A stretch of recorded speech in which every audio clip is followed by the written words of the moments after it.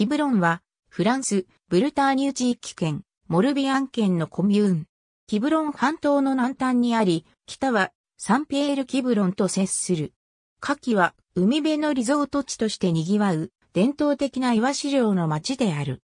衛星写真で見るキブロン半島、大尿図灯台キブロン周辺には、戦死時代から人が定住していたとみられ、ドルメン、メンヒルといった巨石群が残っている。キブロンは11世紀まで島であった。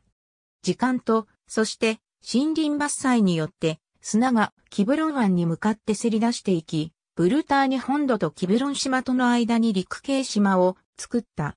1747年、パンティエーブル公がキブロンに砦を建設した。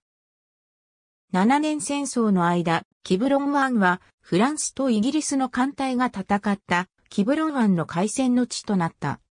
このフランス革命中の1795年7月、キブロンには亡命したフランス王党派が集まり、イギリスの支援を受けて、キブロン上陸作戦が行われた。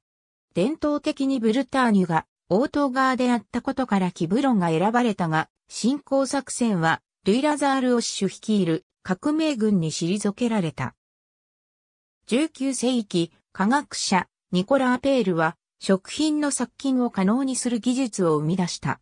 この加工法のため、キブロンは、イワシ漁と国内でのイワシ缶詰製造の主要港となった。フィニステール県中から多くの家族が5月から10月までの漁期にキブロンへ移り住んだ。男たちが漁に出るとき、女たちは缶詰工場で働いていた。オーレーとキブロン間に鉄道が敷かれたのは1882年だった。これを機会にキブロン住民の生活は劇的に変化した。それまでの伝統的な漁業、缶詰製造、海藻利用が観光業にとって変わった。当時、アルフォンス・ドーデ、ギュスターブ・フローベール、アナトール・フランス、サラ・ベルナールといった著名人たちが、キブロンへ休暇にやってきた。1893年には初めてカジノが開業した。1924年は街が健康的なリゾート地に分類されたことから、キブロン湾にとって記念すべき都市となった。現在、観光関連の主要施設がキブロンにある。ありがとうございます。